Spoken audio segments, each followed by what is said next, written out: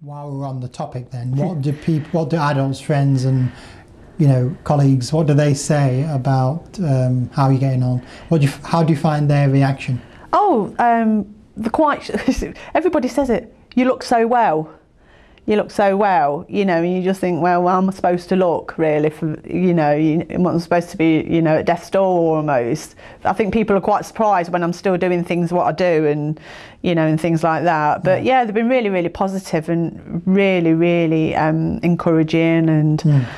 And, and you know, and they've been my friend. She lives in Hinckley. She's got two young children, and she comes to see me once every two weeks or so and mm. stuff like that because I can't drive and things, you know, just for chat and things and you know, it's just really nice and stuff. I've worked with her at the Royal and stuff like that. So, so your friends have generally kept up with you? Yeah, yeah, we have, yeah, yeah. Sometimes they um, don't know what to say. No, drift away. But, no, I know it, it was it was it was difficult. I'd say to tell people that one, it was a brain tumour, and yes, it was cancerous. I think. I think it weren't the fact that it was a brain tumour, the fact it was cancerous. Mm. I think if it, if it was benign, I think it'd been to- totally different reaction to people. Oh, you'll be all right then, you know. But because it's this cancer word, yes. it's it's a different kettle of fish altogether. Mm. So, but my friends have been great.